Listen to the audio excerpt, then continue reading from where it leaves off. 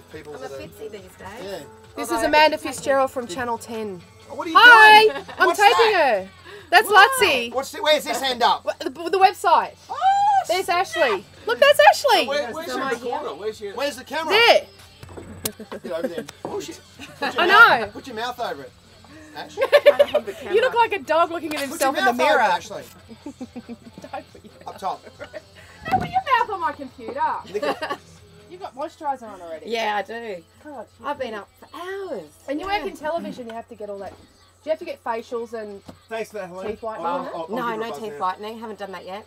Are you saying something? no, no. Oh, Lavinia Nixon. You should do Lavinia that, Nixon yeah. told me once that she um, contractually had to get facials once a week. Oh, really? Spray tan maybe twice a week and teeth Oh whitening. God, yeah. that'd be tough the facials. I tell you wouldn't it? what, Hard the to good cope Yeah, with, exactly. you know? They pay for it. The good thing about it being Oh. in I'm the about to go contract on air in a is sec. it's- How you go? it'll It's on Channel taxed 9's after. Dime. Yeah.